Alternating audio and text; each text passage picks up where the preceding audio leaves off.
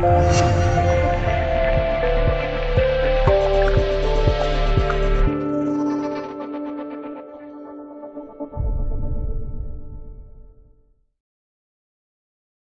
分之五十，在官方确认中国第二艘国产航母采用何种动力之前，我们只能做出这个判断。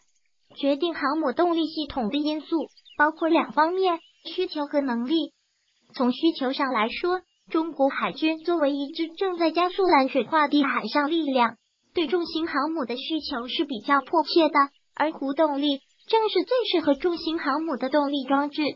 同时，虽然零零幺型和零零二型这样的大型常规动力航母在目前能满足中国海军的需求，但受限于其动力系统需要燃油这一问题，其在自持力上相较于核动力航母来说较差。中国海军目前极度缺乏海外补给基地，如果常规动力的大型航母需要长期在外部驻扎或巡航，那么对燃料补给的依赖。就将可能成为其在部署上的弱点。从这一点来看，核动力航母也必不可少。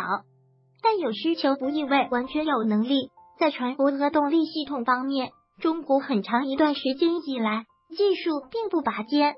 与同时代的美、苏、俄、英、法核潜艇相比，中国国产核潜艇的反应堆在输出功率上存在差异，同时耐用性、人机功效方面也有差距。航空母舰的吨位远高于核潜艇，同时工作环境也有显著差异，因此其对核反应堆的设计要求更高，特别是在输出功率方面，远非潜艇用核反应堆所能相比。而中国在潜艇用核反应堆方面技术又不拔尖，这就意味着即便退而求其次，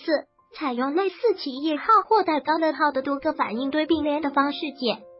造核动力航母也没什么可能。更何况造出来也不见得符合要求。我们不能排除目前中国核技术取得重大突破，航母用核反应堆已经不再难以攻克的可能。但在官方公布相关消息之前，一切都是未知数。所以，对于新一代国产航母的动力系统取舍，还是要静观。